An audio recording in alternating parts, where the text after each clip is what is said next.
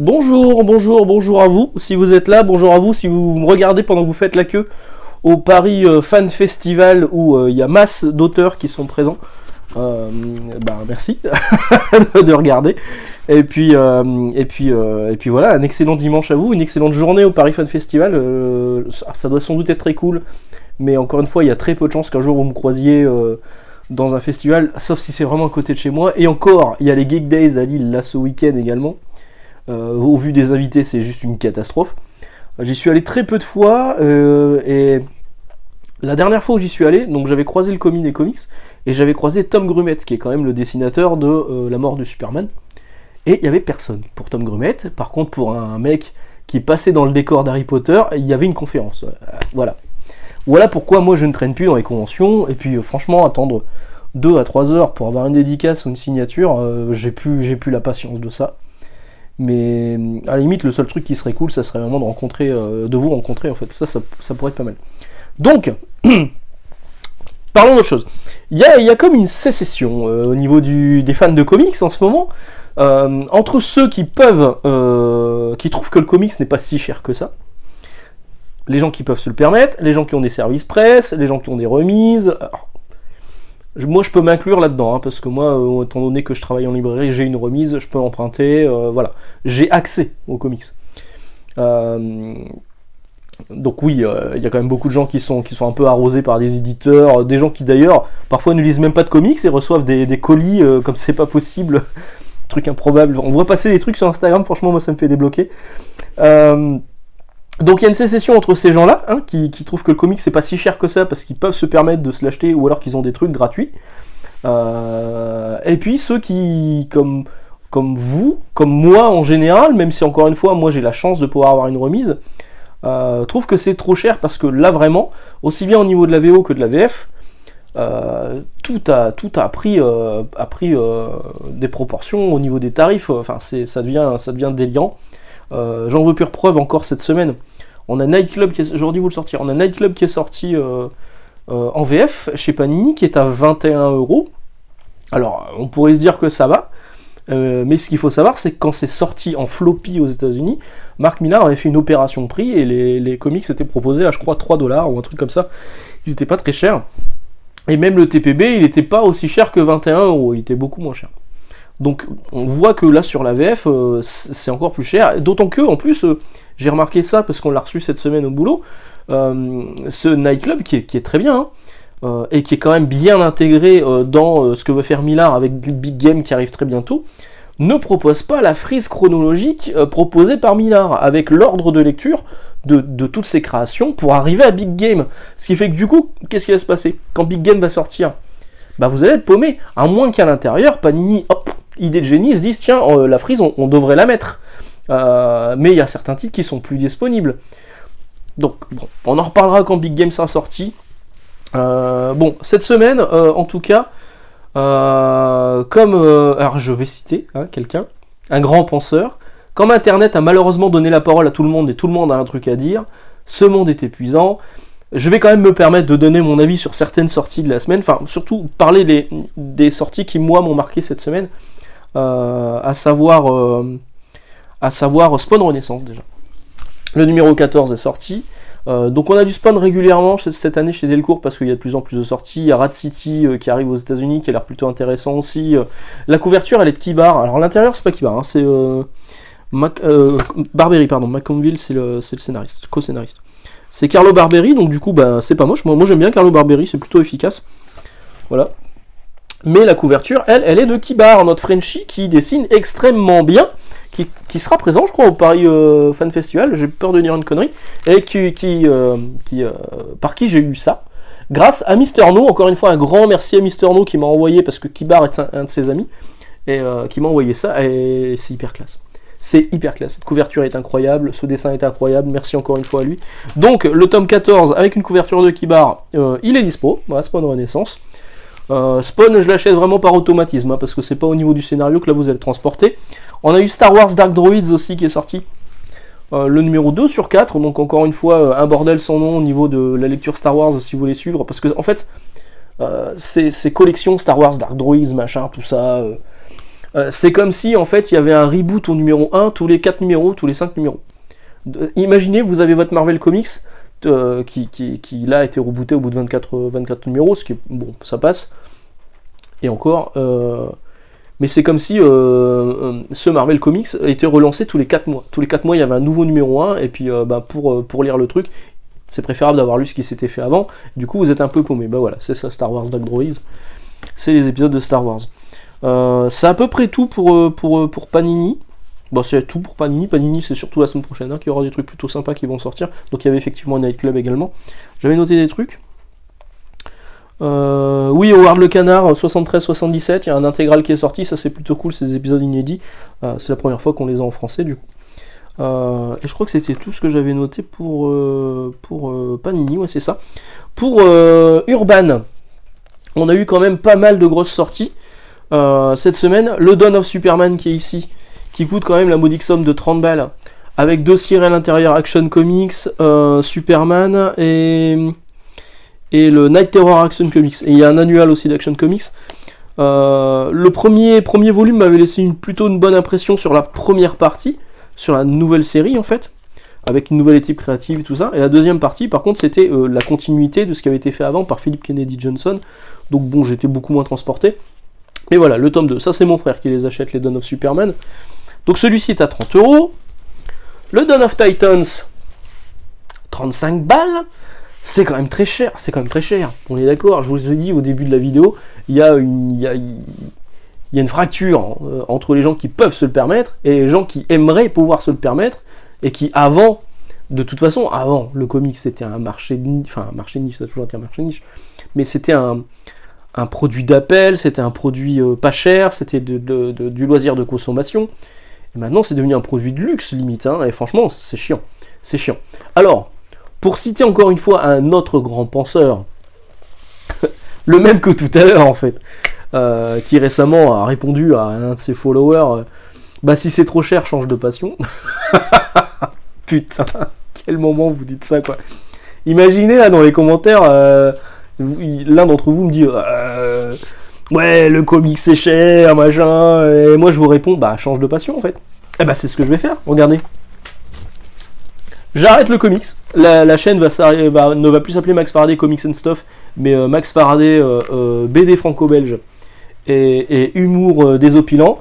J'ai Kid Paddle, le, le best-of Daddy Cool de Midam, parce que, parce que j'ai rencontré Midam cette semaine. Et Midam m'a fait. donc, ça, c'est un best-of sur le père de Kid Paddle. Et il m'a fait le père de Kid Paddle en Batman. Voilà, qui est là. Alors, on le voit là, mais il, me l'a refait juste à côté. Euh, et c'est pour Charlie, donc c'est cool.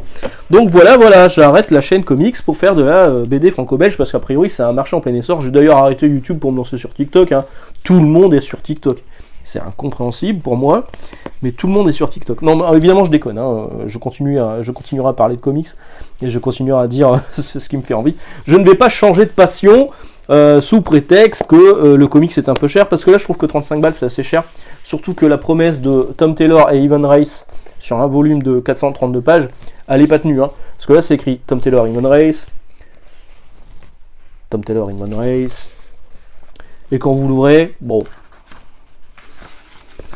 Il n'y a pas que Tom Taylor, il y a tout ça, et il n'y a pas que Iman Race, il y a tout ça, voilà. Ok, donc là, c'est l'intégralité du crossover Beast World.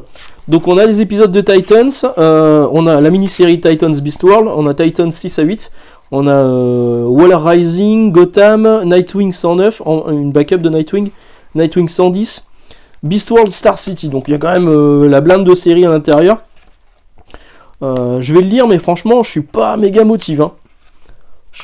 En fait, j'aime pas quand il y a trop de scénaristes différents, euh, quand il y a trop de dessinateurs différents.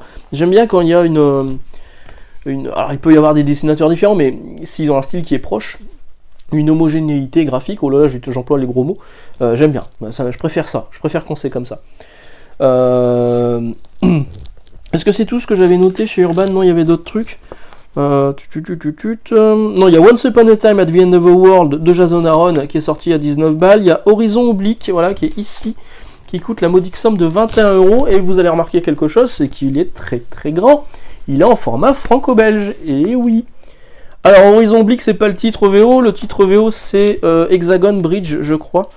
je crois que c'est ça. C'est sorti aux États-Unis chez, chez c'est ça, Hexagon Bridge, chez Image Comics. C'est entièrement réalisé par Richard Blake. C'est plutôt joli, mais c'est vrai que ça fait très franco-belge. C'est très carré. Franchement, ça a s'y méprendre. C'est tellement à s'y méprendre que le format est franco-belge et que euh, quand je suis arrivé au boulot, ma collègue les avait mis en rayon et les avait mis en avant sur les nouveautés euh, BD franco-belge. Bon, finalement, je l'ai laissé là. Je me suis dit, on l'a mis à côté de la route. Euh, si ça peut aider les ventes, allons-y. Je l'ai pas lu encore. Je sais pas ce que ça va donner. Le trait il est plutôt joli, mais moi c'est ça que j'aime pas dans la BD franco-belge et donc que je retrouve ici, c'est ce côté euh, tout carré. Voilà, tout carré, même les bulles sont carrées, il n'y a pas tellement de folie au niveau de, la mise en page, moi c'est ça qui me plaît pas dans le franco-belge. Et, du coup, euh, voir, voir ça dans un comics, euh, je suis pas méga motivé à le lire, mais bon, on verra. On verra, on verra. Donc il y a effectivement Horizon Oblique qui est sorti, il y a Snow Angel de Jeff Lemire, et, ou Jeff Lemire, je sais plus comment on dit, et Jock. Je sais pas quoi en penser. Euh, justement, euh, Urban le vend comme euh, la route, un équivalent de la route aux États-Unis avec quelqu'un qui va suivre des, tranchées. Si on sort de la tranchée, c'est dangereux, donc on va rester dans les tranchées, mais jusqu'où va la tranchée? C'est Jock au dessin, je suis pas méga fan non plus, c'est pas ce qui va me motiver à l'acheter. C'est vendu 24 balles. Il y a un truc que j'ai remarqué sur ces dernières sorties, et, c'est déjà un petit peu avant, c'était sur quoi Love Everlasting, c'est que j'en ai un là. Moi j'en ai un. Euh, avant, vous aviez les dos noirs comme ça. Pareil sur les indies, et il y avait la même charte graphique derrière. Maintenant, c'est terminé. En fait, vous avez un dos qui, suit la couverture, la première de coup. Donc, le dos, il peut être de couleur. Et à l'arrière, il y a quasiment plus d'explicatif. Il y a un dessin ou une couverture. Euh, par exemple, sur euh, Once Upon a Time at the End of the World, je crois que c'est un dessin de. Euh, Eric Powell, il me semble que c'est Eric Powell, et puis quand vous l'ouvrez, en fait, ça n'a rien à voir avec du Eric Powell. Et puis surtout, il y a un, léger, il y a, des phrases qui sont mises là, et on comprend pas du tout de quoi ça parle. C'est un peu dommage, euh, je veux dire. Euh, bah comme ça, en fait, voilà, comme ça. Ça vous explique pas ce que c'est. Bah, moi je trouve que c'est pas vendeur. Hein. Bah, puis même, je veux dire, même quand on est en librairie et qu'on nous demande des conseils sur les trucs, on n'a pas forcément le temps de tout lire. Donc avoir un résumé à l'arrière, ça peut parfois nous aider également et puis nous motiver, nous, à lire, parce qu'il y a quand même énormément de choses. On n'a pas un temps qui est non plus. Euh, rien, quand on est libraire, on lit quand même beaucoup chez soi, et ça fait aussi partie de notre boulot, parce que ça nous permet de faire des coups de cœur, des mises en avant, etc. Et ça, c'est pas du temps qui est compté comme du temps de travail. Et, euh, là, si les trucs arrivent et qu'on ne sait pas de quoi ça parle, euh, il y a juste le dessin, on le feuillette, le dessin vous plaît pas, ben c'est tout. Euh, moi, bah, moi, ce sera le cas de Once Upon a Time at the End of the World, sauf si vous, vous me dites que c'est indispensable. Dans ce cas-là, j'écouterai sans doute vos, vos conseils, mais donc, Horizon Oblique, Snow Angels, euh, Ah oui, alors il y avait ça aussi. Il y avait ça aussi, c'est vrai. Southern Bastard. Il est sorti dans la collection Indie pour les 10 ans d'Indies. Le tome 1. La série n'est pas terminée. On ne sait toujours pas d'ailleurs si les auteurs vont finir la série. Et qu'est-ce qu'annonce Urban? La série sort en intégrale, alors qu'il n'y a pas de fin et que surtout les gens qui vont acheter l'intégrale, bah, s'ils ont acheté euh, le, titre en Urban Indies, ils l'auront en double. Je trouve pas ça très cool, je trouve pas ça très cool, c'est vraiment dommage. Dans les grosses sorties aussi que j'ai notées cette semaine, Red Mass Form Mars chez Comics Initiative, c'est du Jonathan Hickman, donc si vous êtes fan d'Hickman, ça peut fonctionner. Je l'ai feuilleté. Bon, ça mélange un petit peu de space opéra avec des super-héros. Je trouvais ça un peu verbeux par moment, mais euh, bon, pour l'instant, pas de là à, le lire, mais, euh, mais bon, c'est du Hickman, donc je pense que si, vous aimez le style d'Hickman, ça peut vous plaire. Et il y a surtout masse de sorties chez euh, Vestron, Vestron, Vestron, de Tortues Ninja. Alors si vous êtes fan des Tortues Ninja qui a chez, qui chez pardon, iComics, euh, c'est pas les mêmes. Là, c'est ceux qui sont tirés des dessins animés. Du, coup, c'est l'adaptation des dessins animés en, comics. Mais ça a l'air plutôt sympa. Le trait, il est, il est, il est cool, il est frais. Euh, franchement, je pense que si j'étais fan des Tortues Ninja, je craquerais. Mais je suis pas plus fan que ça des Tortues Ninja. D'ailleurs, les versions d'iComics, je ne les achète pas. Voilà. Voilà, voilà. Que vous dire de plus? Euh, Pas grand chose. Effectivement, cette semaine, ça a été une semaine qui a été, moi, rythmée par la rencontre avec Midam et puis les quelques sorties euh, ici et là. Et, euh, ah oui, il y a Green Arrow qui est sorti, Dawn of Green Arrow aussi qui est sorti à 24 balles. Donc lui, celui, celui-ci ça va. Par contre, il est pas, il est pas trop, trop cher au niveau du prix. Mais c'est vrai que si vous achetez Dawn of Superman, Dawn of Titan, on est déjà à 65 balles. Plus le Dawn of Green Arrow, on est à 90, 89. C'est ça, 89. 89 euros. Ça commence à faire beaucoup. Euh, Il y a il y a un omnibus qui est sorti de Conan aussi. euh, Enfin.